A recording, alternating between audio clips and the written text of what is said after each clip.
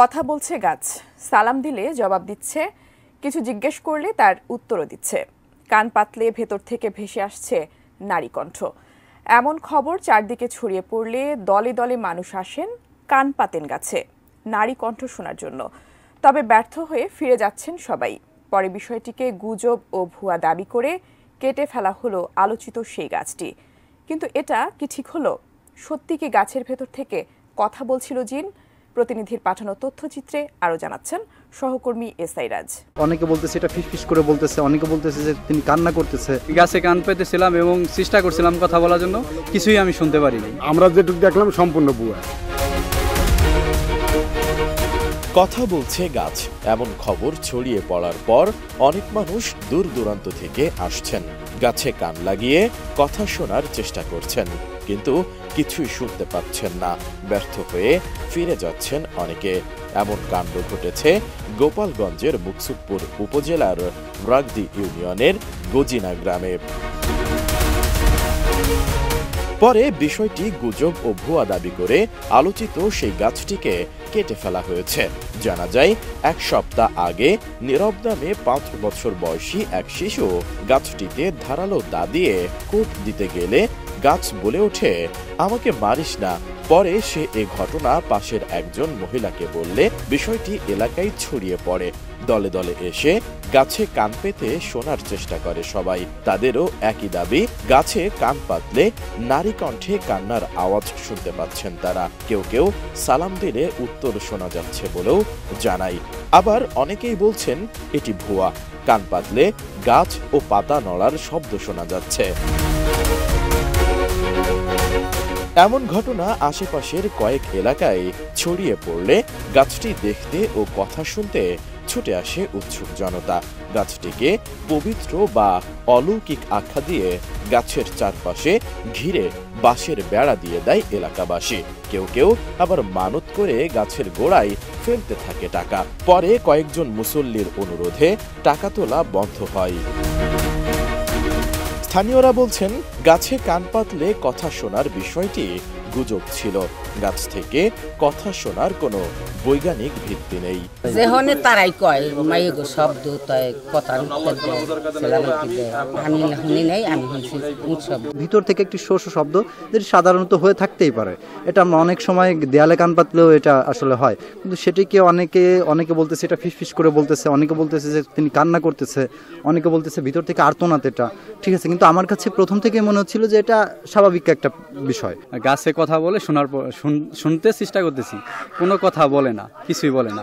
এটা যা শুনতে আসছিলাম এটা বিপরীত বানট আমরা যেটুকু দেখলাম সম্পূর্ণ বুয়া সম্পূর্ণ গুজব কারণ এলাকার মানুষ যারা যারা জ্ঞানী বা যারা মেধাবী বা যারা স্থানীয় তারা সবাই বলতেছে এটা গুজব।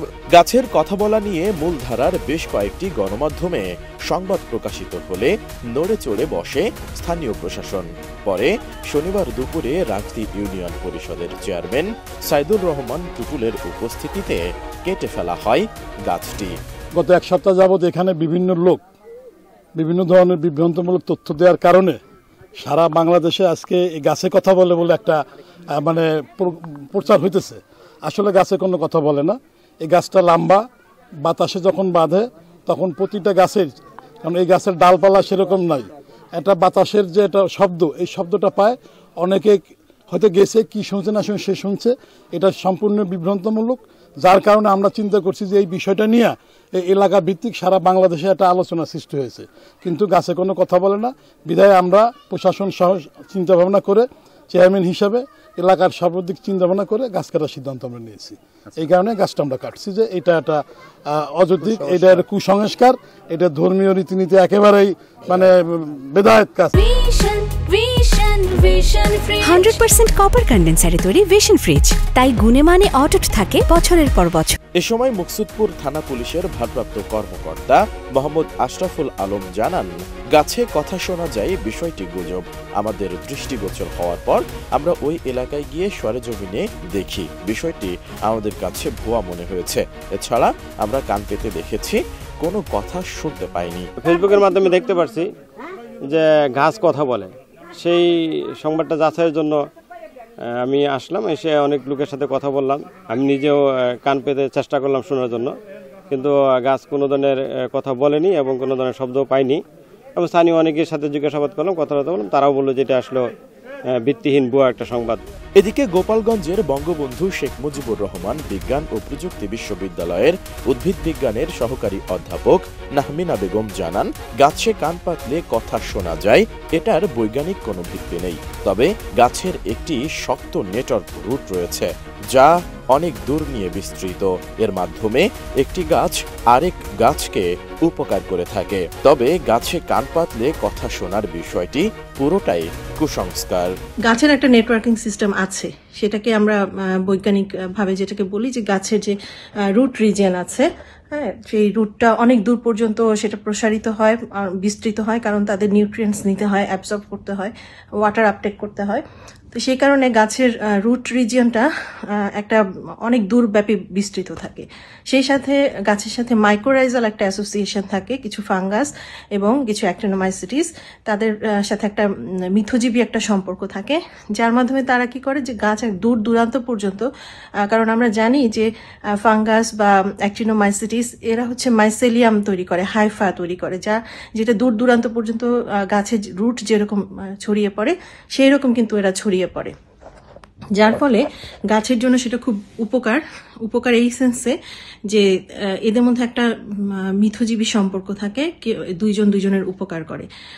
গাছের জন্য যে সমস্ত নিউট্রিয়েন্টসগুলো অ্যাভেলেবেল না, সেগুলো এই সমস্ত ফাঙ্গাসগুলো বা মাইক্রোরাইজাল যে কমিউনিটিস আছে, তারা কি করে এই নিউট্রিয়েন্টসগুলোকে গাছ আপটেক করতে পারে খুব সহজ মানে তাদের গ্রহণ উপযোগী করে দেয়। ঠিক আছে? আর ফরেস্ট রিজিয়নে যেখানে অনেক গাছপালা থাকে। এখানে আমরা বলে থাকি যে গাছের সাথে একটা, এইভাবে করে তাদের মধ্যে একটা নেটওয়ার্কিং সিস্টেম থাকে। তবে এখন যেটা হতে পারে যে একটা বড় গাছ মানুষ কান পাতলে শব্দ শুনতে পাচ্ছে, সেটা হতে পারে। কারণ বাতাস বা কোনো কারণে যদি গাছ নড়াচড়া হয়, তো সেই ক্ষেত্রে একটা ভাইব্রেশন বা একটা শব্দ কিন্তু শোনা যেতেই পারে, তাই না? সেটা হতে পারে অস্বাভাবিক কিছু না। আর হলো যে অনেক সময় আপনারা জানেন যে গাছ মাটি থেকে যখন পানিটা অ্যাবজর্ব করে হয়তো তখন কোনো শব্দ হতেও পারে, তবে এর কোনো বৈজ্ঞানিক ভিত্তি নাই। এরকম শব্দ শোনার কথা, আমি এখন পর্যন্ত আমার নলেজে নাই, আমি শুনিনি। তো ব্যাপারটা কুসংস্কারই হবে। S I Raj ATN news